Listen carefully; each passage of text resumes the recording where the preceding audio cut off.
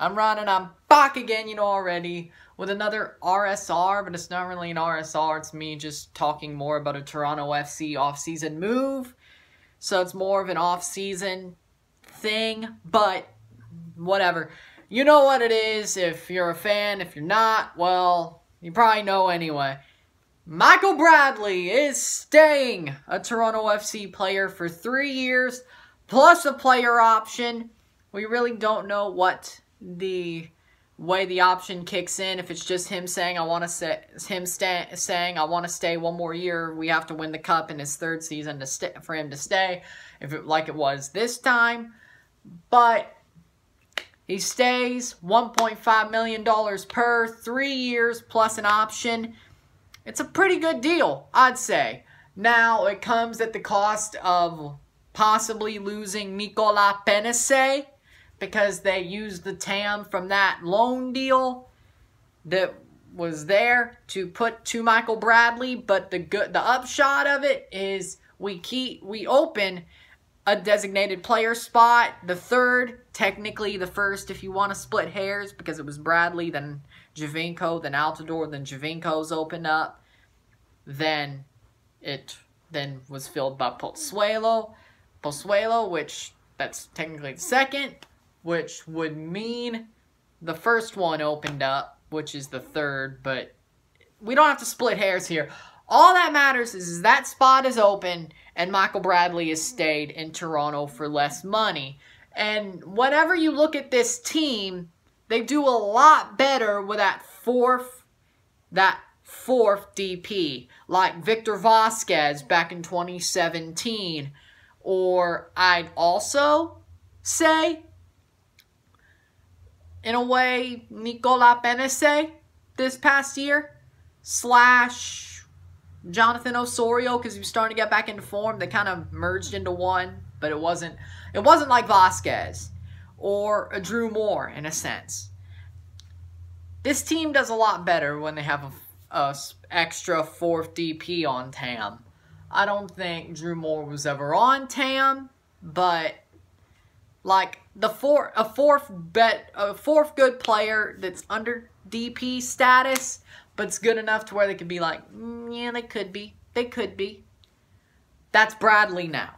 That's Michael Bradley now, and also sounds like that Greg Vanney and Ali Curtis are in South America right now, looking for an attacking designated player to be Jozy's backup slash support backup slash support. And they're going to go to Europe. They have four that they're looking at right now. That they're talking to, four that they're looking at. We don't have any names yet, but we know where they're looking. South America and Europe. So probably Argentina. If I had to venture a guess, Argentina, Belgium, Spain, England, somewhere around there if I had to venture a guess where they're looking for that fourth DP, France, Belgium, Spain, Argentina, Brazil, or England. Why? Because that's where they normally go.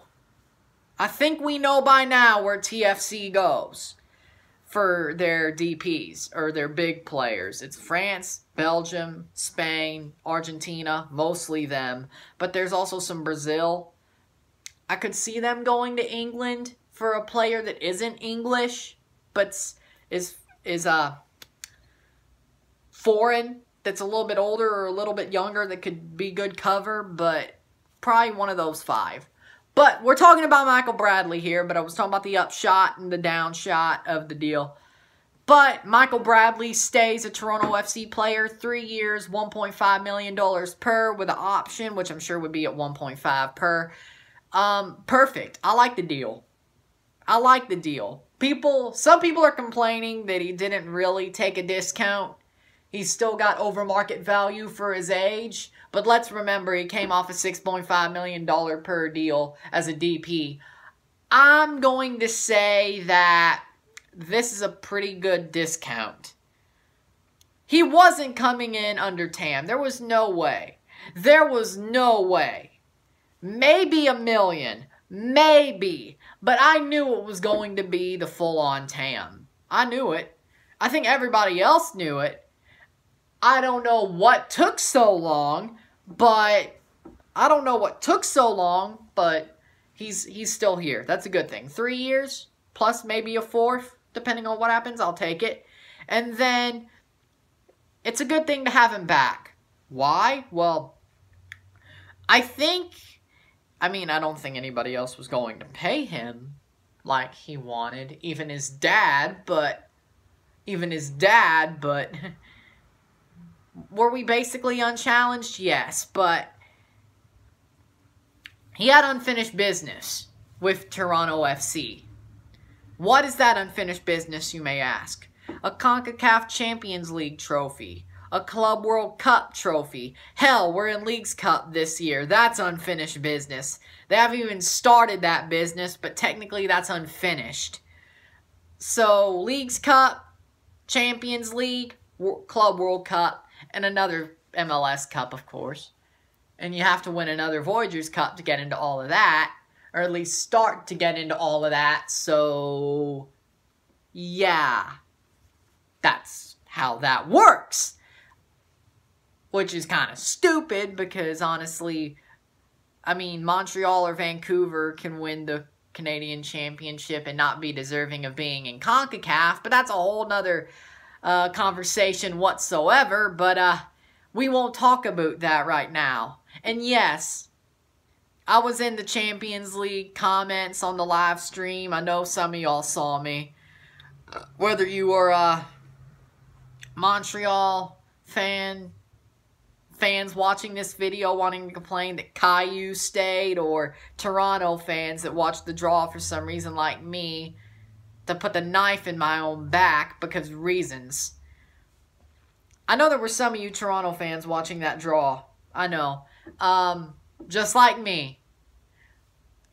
Putting pain to myself because I don't know what else to do with my life.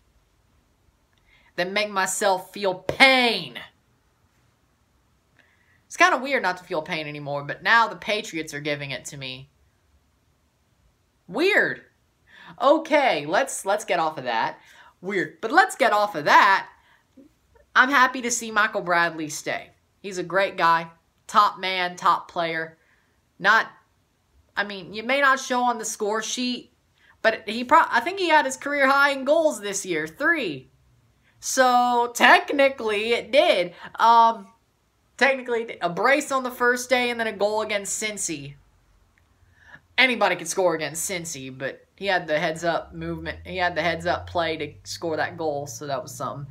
But uh, top man, Michael Bradley, great guy. I'm happy he's staying. He wants to finish the unfinished business. I'm I'm for it, and I hope within these three years that he also starts taking Fraser under his wing and they start including Liam Fraser in the 11 sometimes whether it be Canadian Championship or even some lower MLS games, start rotating them. And I know that's going to be hard to, for Michael Bradley to want to do, but or even put him in a midfield block, a midfield two. That that'll be even better.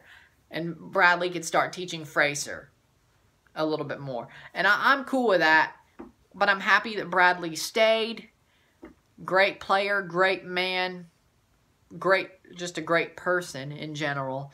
And he is a general, the Yankee general, but good person. Happy that he stayed. He put this club on the map. And he he did a lot for this club. And he still feels like there's unfinished business, and that's a great captain. Taking a sort of discount, whether you want to look at it that way or not, I say he took a discount he took a discount to stay with the club he loves in the city that he loves, where he's raising his kids, where, where his family is settled, and where he wants to finish business. So I love it. So if you like this video, like it, share, subscribe. You know what it is. Tell all your friends. Caps back. I'm Ryan and I'm out. Peace. Talk to you later.